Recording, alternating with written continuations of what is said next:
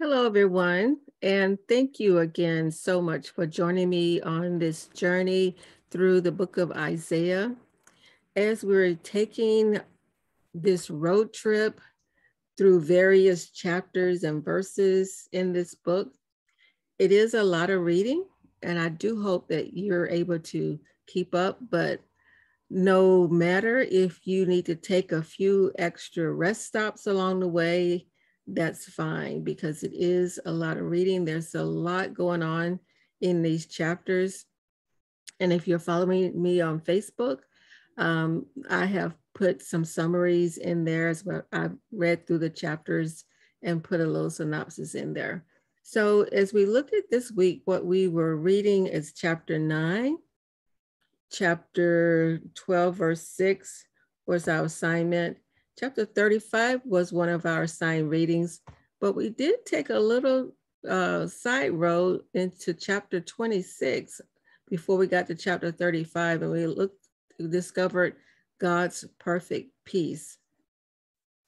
So chapter nine looks at, you know, the promised Messiah.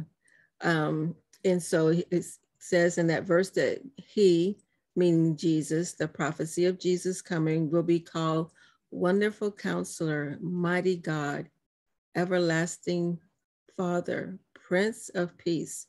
So we see that Christ came into the world to be our Prince of Peace. And um, there's something that far surpasses our earthly father. And he also came to be our wonderful counselor through the Holy Spirit. And he came to reveal himself as our mighty God. He came to restore our relationship with Himself, not only Himself, but our eternal Father. And then finally, He came to make us one with Himself. So, as you go back and review that chapter, look at all the, the promises that God made about the coming Messiah. And I'm going to save uh, let's see.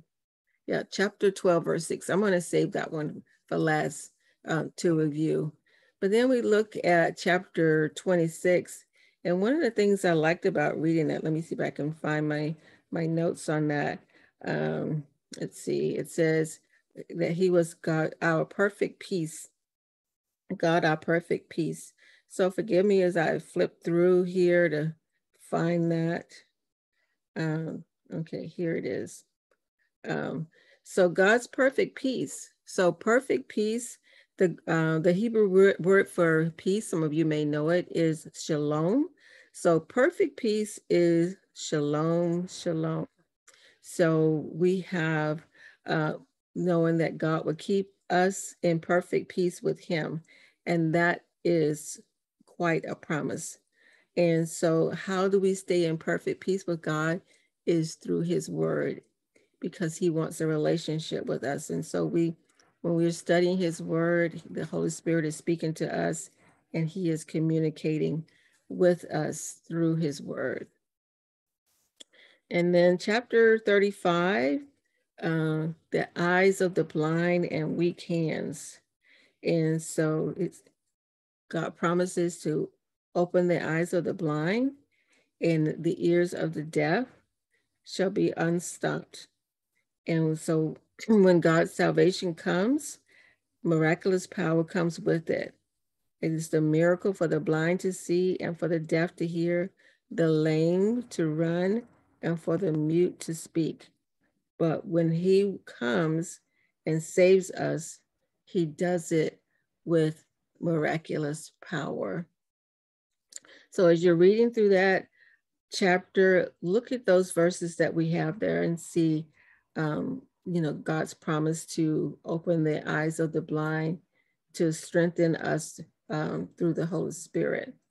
Okay, so now let me find my notes on um, ch chapter 12, verse 6. Okay, and so in the message Bible, that verse reads, uh, it says, I'm gonna read um, starting in verse five, it says, Sing praise songs to God. He's done it all. Let the whole earth know what he's done. Raise the roof. Sing your hearts out, O Zion. The greatest lives among you, the Holy of Israel.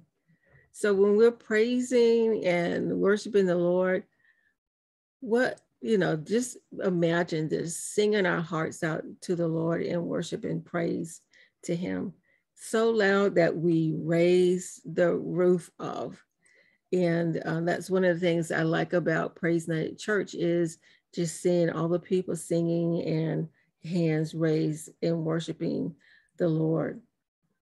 And so the comment, the new King James Version says, Sing to the Lord, he has done excellent things. This is known in all the earth.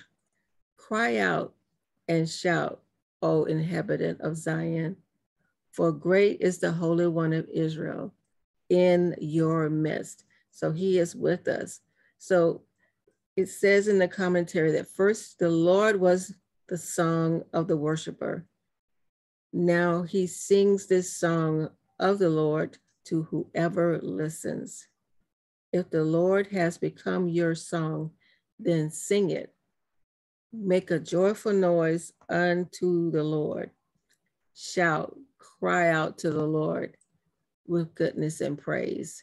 So, friends, I hope you're, as I said, I hope you're following along as we're reading through the book of Isaiah on this journey. And there's so many nuggets, I can't go through them all. But as I said, I hope you're able to keep up and read through and follow follow along with us. And so as we um, get ready to discover more on our road trip through the book of Isaiah, I hope you'll continue to follow me. So you have a great rest of your day wherever you are in the world. And um, I'd love to hear your comments uh, either in this video and or on our Facebook page. So take care until next time. Goodbye.